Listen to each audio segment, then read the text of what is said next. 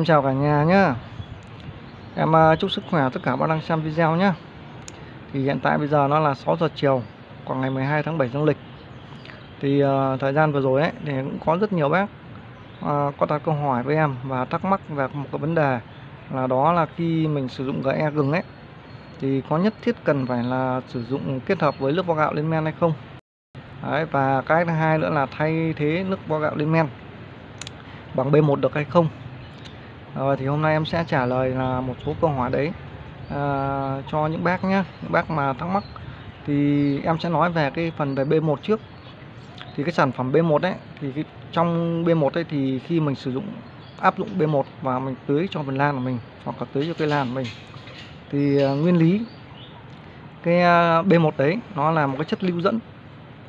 Thì khi mình sử dụng B1 đấy thì nó là cái chất lưu dẫn thì nó sẽ giúp cho cây lan của mình ấy là nó trao đổi chất nó tốt hơn nó hấp à, thụ những chất dinh dưỡng nó tốt hơn đấy nó nhiều hơn cả nhà.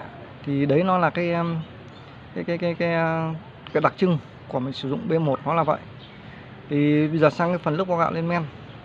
Thì cái nước vo gạo lên men ấy thì trong cái thành phần chính của cái nước vo gạo lên men đấy thì nó cũng rất là nhiều B1 và nó cũng có công năng công dụng như là cái thuốc B1 đấy là nó cũng là một chất lưu dẫn để giúp cho cây lan mình hấp thụ tốt hơn. Thì trong cái việc mà sử dụng nếu mình không có lượng vo gạo lên men thì mình vẫn có thể dùng à, B1 thoải mái. Các cả nhà nhé thế nhưng theo em thì các bác là có cái nước vo gạo lên men thì mình kết hợp với GE gừng thì nó sẽ tốt hơn. Cả nhà thì B1 hay là nước vo gạo lên men thì nó đều có công năng như nhau cả. Nhưng mà ngược lại ấy, là trong cái nước vo gạo lên men ấy thì nó ngoài cái, cái B1 ra thì trong lớp gạo lên men này thì nó còn rất là nhiều chất dinh dưỡng khác. Và cây lan của mình nó cũng rất cần. Đấy cả nhà. Nếu à, trong lúc gạo lên men thì nó có tinh bột này đường này. Và cái cây lan của mình nó rất thích rất ưa nên là chính vì vậy ấy, là khi các bác mà sử dụng GE gừng kết hợp với nước gạo lên men thì các bác là cố gắng cố gắng là lấy cái nước vo gạo đấy cho em. Thì bởi vì cái nước vo gạo đấy nó cũng đơn giản nhà nào ngày nào cũng phải ăn cơm đấy, ngày nào cũng phải vo gạo nên ngày nào cũng có. Thì mình chỉ cần lấy một số lượng ít thôi nhưng không cần nhiều. Ví dụ như là mình vườn lan của mình mà mình tưới ờ, mất khoảng độ 10 lít hoặc 20 lít nước chẳng hạn thì mình chỉ cần lấy nước vo gạo ờ, một lít hoặc 2 lít thôi. Thì cái nước vo gạo lên men đấy thì không phải là các bác là lấy nước đặc. Đấy ví dụ như là mình vo gạo ấy mình vo làm ba nước bốn nước thì ba nước và bốn nước đấy thì đều mình mình đều chắt đã được chẳng hạn đều chắc được và lấy tận dụng được hết tất cả cái nước đấy. Đấy chứ không phải là mình lấy cái nước đặc đầu tiên nhé cả nhà nhé thì mình chỉ cần để qua đêm thôi.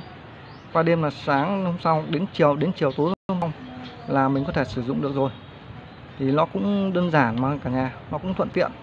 Thì cả nhà cố gắng là à, áp dụng cái nước vo gạo lên men giúp em nhé thì nó sẽ tốt hơn là mình kết hợp GE gừng với cả B1 nhé cả nhà nhé thì à, bây giờ hôm nay đấy thì trước mặt các bác đây là em có cái can này cắn bia. Bia là em đã đả chua rồi đã đả lên men rồi nó gọi là bia hỏng đấy cả nhà. Thì ở đây em có một kg gừng. Đấy. Thì tiện hôm nay em sẽ làm cái GE gừng này luôn. Và em sẽ hướng dẫn là cho những bác mà mới sinh của em nhé cả nhà nhé. Còn bác nào mà đã biết uh, biết cái công thức làm GE gừng này rồi thì có thể bỏ qua cái phần này giúp em nhé, cả nhà nhé. Thì à, với công thức ấy, công thức là mình mua một kg gừng. Đấy, mình sử dụng cái gừng ta càng tốt nhé cả nhà nhé. Mà không có gừng ta thì mình dùng gừng Trung Quốc cũng được, không sao cả. Thì nó cũng ờ, không tốt hơn nhau là mấy đâu, nó cũng xem xem như nhau mà. Thì à, khi mình sử dụng một kg gừng này, thì là cả nhà sử dụng cho em 3 lít bia. Đấy, bia đã đẻ chua, để lên men, bia hỏng nhé bác nhé? Thì công thức của nó là 3 1 3 bia và một gừng.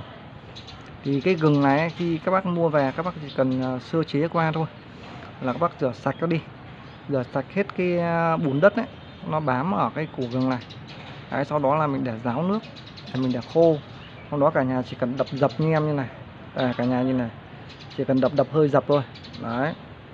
Chứ không cần phải đập lát bét ra nhé thì tại sao lại chỉ cần đập dập thôi? Thì ờ, mà không được phép xay. Thì cả nhà đừng có nghĩ là nó xay xay ra hoặc là đập lát nó ra thì mình ngâm nó sẽ tốt hơn nhé cả nhà. Cái đấy không phải nhá thì bởi vì là khi mình ngâm GE này là mình sử dụng là cái men vi sinh là những cái con men nó có sẵn ở trong bia. Đấy, để nó phân hủy cái cái gừng này. Đấy, sau nó là, là ăn những cái chất dinh dưỡng ở gừng này sau nó đào thải ra. Đấy đào thải ra một cái dạng em uh, nghe mang máng em nhớ mang máng như là đào thải ra một cái hạng mà một cái lượng uh, dinh dưỡng nhất định kiểu dạng nano đấy. Đấy nó như thế. Thì cái con men vi sinh ở trong cái bia hoặc là trong những sản phẩm uh, công thức GE khác thì nó phải cần có thời gian. Nó cần có thời gian nó ăn những chất dinh dưỡng này và nó sinh sôi lầy lở lên. Đấy thì nó phải có thời gian.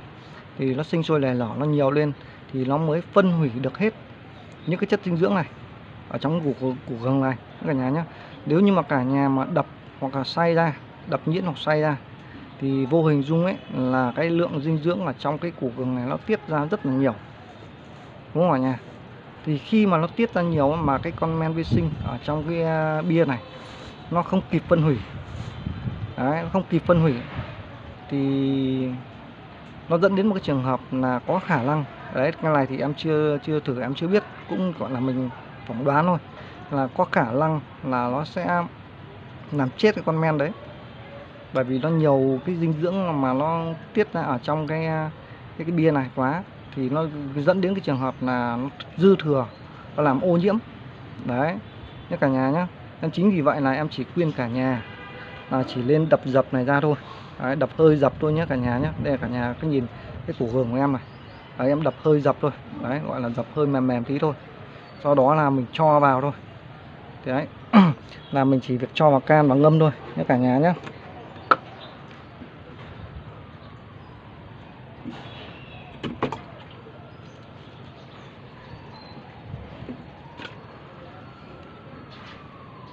Rồi thế là mình chỉ việc cho vào thôi nhé cả nhà nhé. Ví dụ như là cái miệng chai này nó bé quá nó bé mà những cái củ gừng mà mình nó to quá thì mình có thể cắt đôi.